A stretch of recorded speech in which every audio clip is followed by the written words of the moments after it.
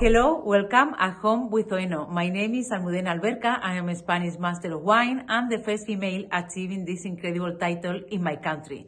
I joined recently Oeno's team as a Spanish brand ambassador, so I'm very busy nowadays looking for exciting wines to be enjoyed by all of us.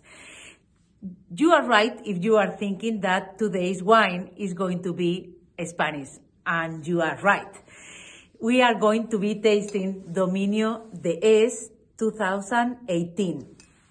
I will be tasting the wine later on, but we are very lucky to have uh, the owner and the winemaker, which is French, Bertrand Sourdais, presenting us the vineyards, the winemaking details, and all the history behind his project and his winery.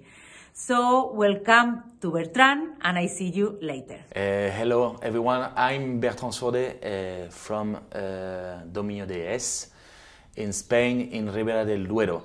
Well, first, I'm so sorry for my poor English, but well, I'm going to try to explain you with my language uh, how I create Dominio de Es, uh, where it's coming from, and what we are doing today. So first, I'm Bertrand Sourdais from Domaine de Pallus. I'm the fifth generation uh, at the same time uh, in the small estate in Chinon in Val de Loire at Domaine de Pallus.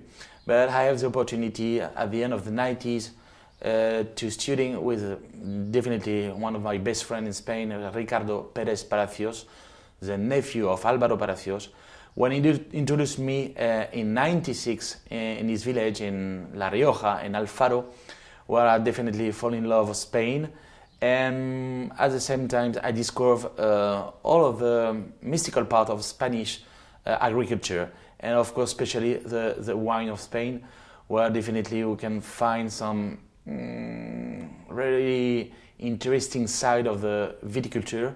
What it's definitely for me something what it was a very um, not considered on this moment, but for us in France, it's like a very good value in terms of genetical uh, plants, um, in the sense that Spain is very rich in all vines.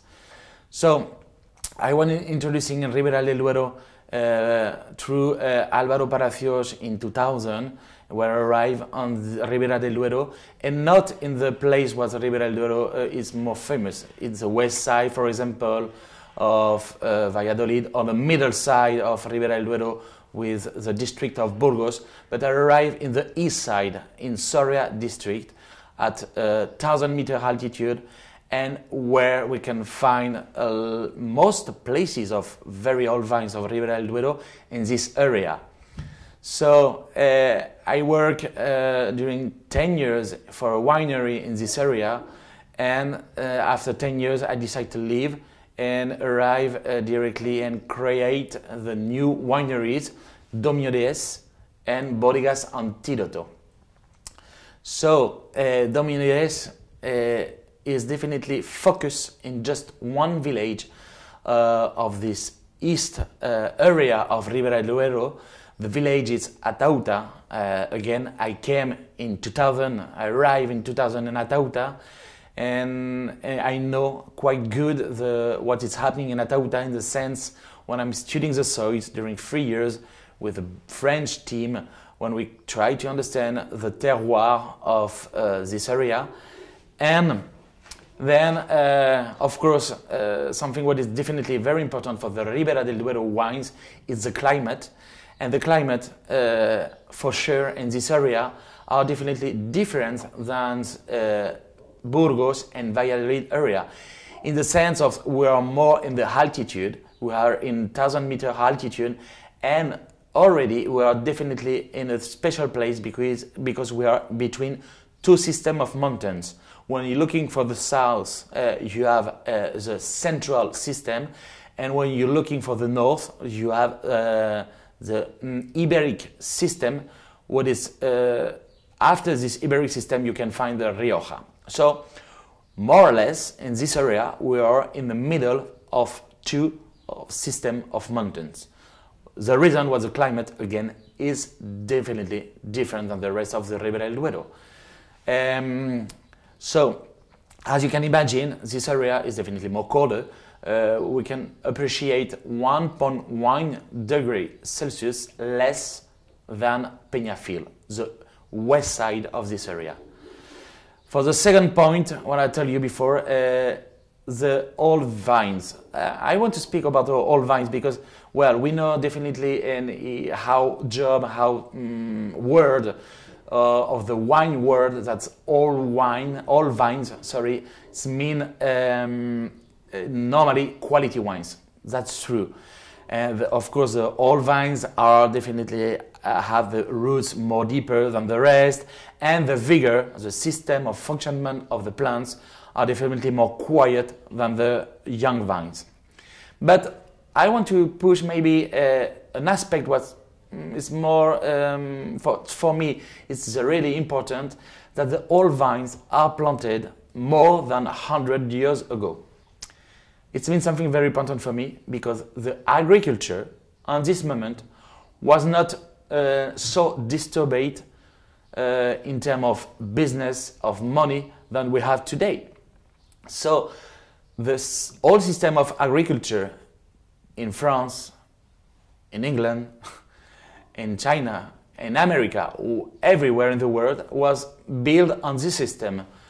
The viticulture, the agriculture, sorry, uh, grow tomatoes, potatoes, uh, wheat, uh, animals, uh, pig, whatever, and also vineyard for making his wine. But all of the product, what he's doing, was first for himself. And second, if he have enough, he can sell it. So you can imagine if what you want to produce, of course, you are looking first for the quality and the taste of what you produce. And then for the business we can do. Unfortunately, today we're looking mostly for the business, and, and after we're looking for the quality, mostly. But when I want to, to, to, to, to go back with the idea, what I explained you, it's uh, definitely um, the agriculture again. Uh, the hundred years ago, when he plant a vineyard, are looking for the quality of the grapes and of the wine, of course. So that's something very important for us to can cultivate these very old vines because they were thinking and they were planting for making really good wines. So again, that's the two aspects of uh, Soria, the cold temperatures and the very old vines. So I arrived uh, and create Dominio de Es in 2011 that the first vintage what we do uh, on this on this moment, we start with only four parcels, of only four plots of ungrafted vineyards. Today, uh, Dominio de Es is uh, 27 uh, small parcels in Atauta. The total of the 27 parcels is only 3.5 hectares, so it's really small. We are producing generally uh, 10,000 uh, bottles uh, per year. And we have uh, today we are producing four different wines. Uh, the regular wines, what it's uh, Dominio de Es, is come from again 24 different parcels of this area of Atauta village, where we can find uh, different um, situation in terms of soils. Clay with limestone, sand with limestone, limestone with limestone, and you can understand that always uh, we find the limestone. The limestone is present in all of these small parcels. So that's the, the, the complexity of the Dominio de Es. Uh, it's coming from, again, the different parcel from limestone and different soils on it. Uh, all vines, of course, ungrafted vineyards, and we have around 5% of white grapes, what we know there uh, like Albillo. That's the local white grapes. And well, we mix it with the rest of the Tinto Fino of the Tempranillo. Uh, so that's first point for Dominio de Es. So that's uh, what we do for the moment. Again, Dominio de Es, small estate from this area of the east side of Ribera del Duero in a thousand meter altitude with very old vines and a work very um, precise in terms of terroir. That's what we do. So welcome and enjoy the wines. My country is an incredible and amazing uh, area, and I'm in love of Spain. Uh, Spain uh, has a lot of diversity in different cultures, different languages, a lot of diversity in gastronomy, and also we can find so many different wine areas and a lot of indigenous varieties creating unique wines around the world. Uh, why is this diversity so present in, in Spain?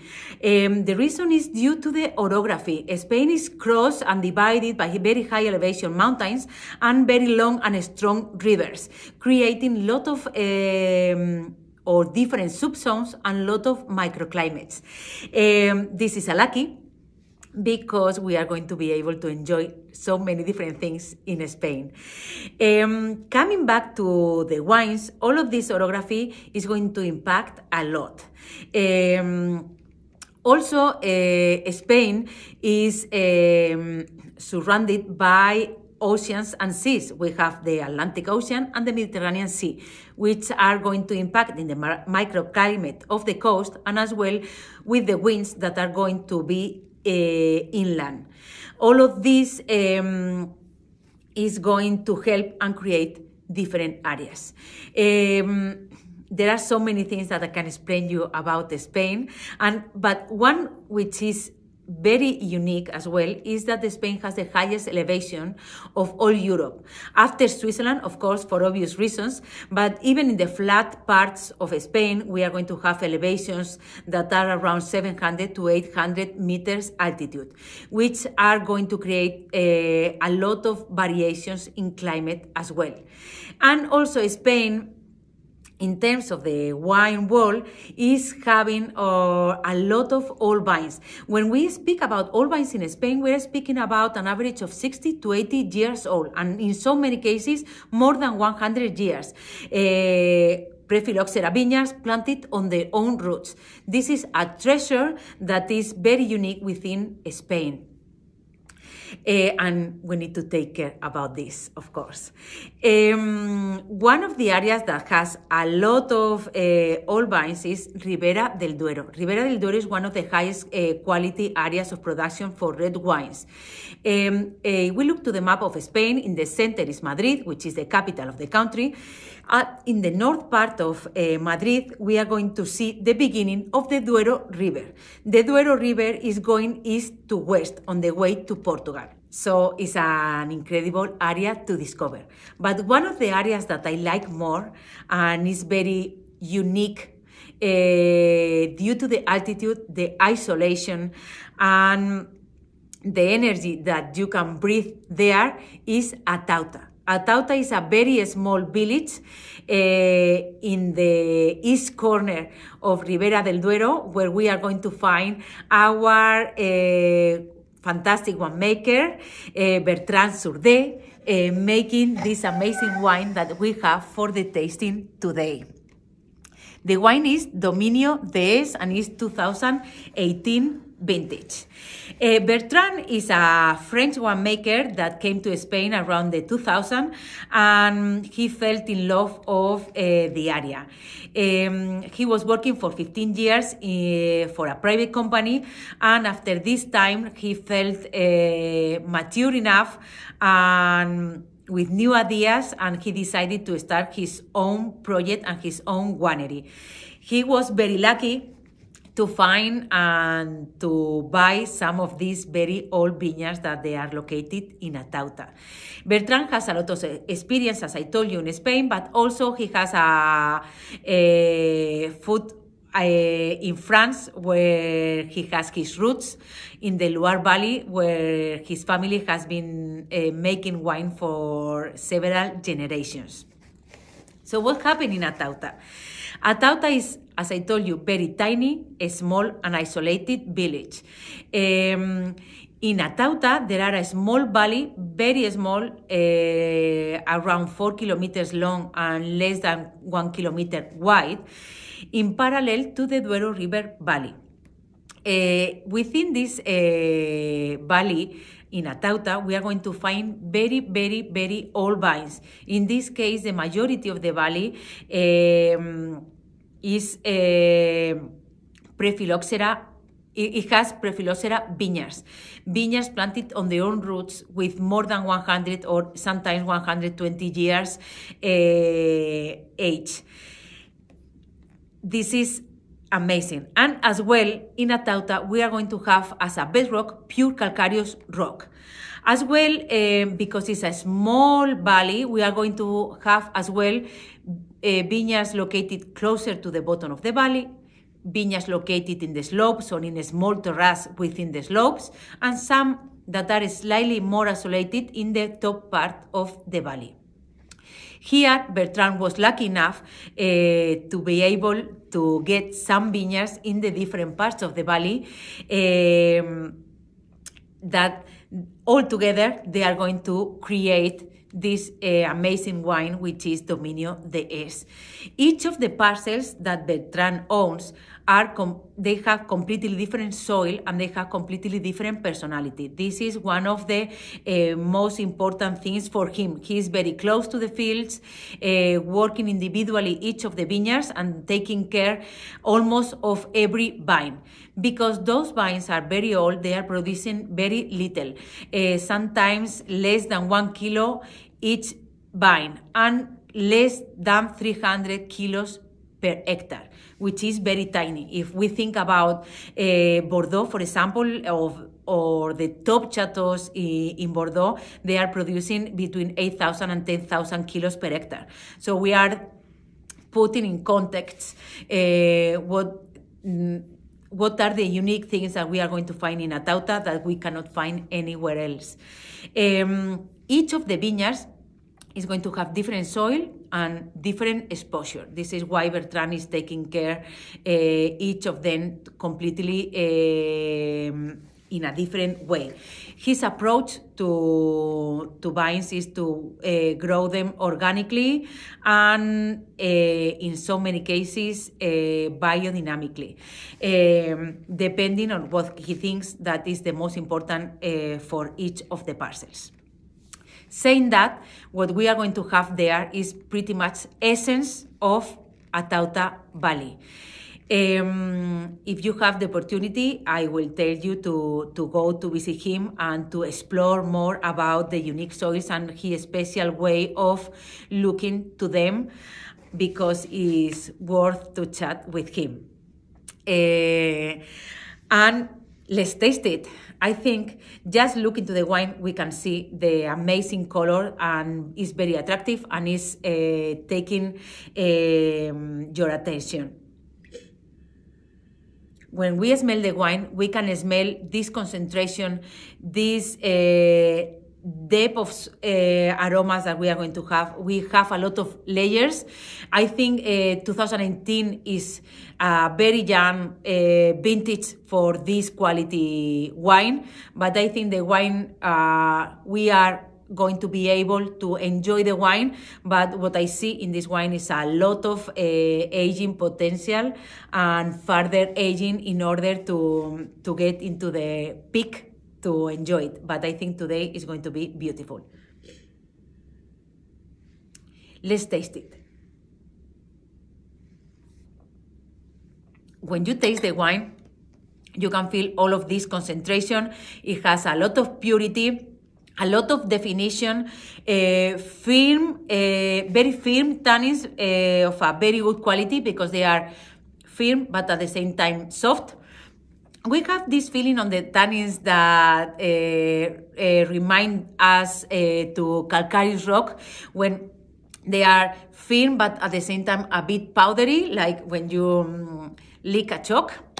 Uh, also, uh, it has a very long length and persistence. Um, I think it's a very mineral uh, wine. I'm going to use one of the Bertrand sentences that uh, he said that sometimes this wine is like uh, mineral water uh, or the essence of, of the water when it goes through the through the rocks and we put it inside the bottle. I think this is the feeling that you have on the palate. Uh, he was able to capture a, a, place and to put it inside the bottle. For the aging, Bertrand is using uh, 600 liter barrels, French oak or coming from the highest quality coopers, um, in a, a different proportion of new and used because he wants to focus on the quality of the fruit, but using all the all the beautiful things that they can give you to increase the aging potential of this wine. I think it's just a lovely wine. I will recommend it to you to leave the glass uh, for a while, uh, at least 30 or 60 minutes because you are going to enjoy and discover so many different personalities out of this wine. And I think when a wine is from this quality, you are going to see a lot of evolution through the time, especially when it's this young. Um, hope you enjoy it, uh, have fun, and hope to see you soon.